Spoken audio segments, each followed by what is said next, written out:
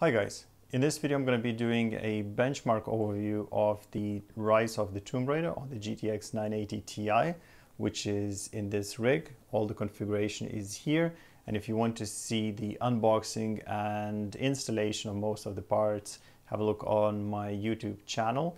The monitor that I'm using here is Philips BDM 3270. It's a 32 inch 1440p display which would allowed me to benchmark um, this game in 1080p and 1440p as well. So the results are going to be for that. I'm going to show you the results straight away.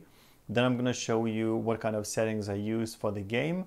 And I'm going to leave you um, with a video of the benchmark running where you could also see power consumption in case you are interested. So let's get started.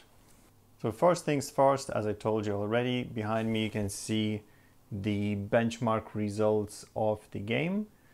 So that's pretty much it. Um, you have three scenes run at 1080 and 1440p. Each scene ran three times just to make sure that the result is accurate. And then I compared all the results to see if there's much deviation. If there isn't, these are the three results I would choose. And that's what you have on the screen here. In terms of the settings, what I've used, I'm going to show you here. So if I go to, if I launch the game, I would get this splash screen go to options, I have all the options here for the benchmark that you can see. Obviously for 1080p, I would just simply select 1080p from the list. For 1440p, I would just use that. And graphics would be the same settings for both tests. So that would kind of show accurate representation and difference between the two resolutions. And then I just click OK, play, and when you launch the game the first uh, on the first menu you'll see run benchmark or something like that.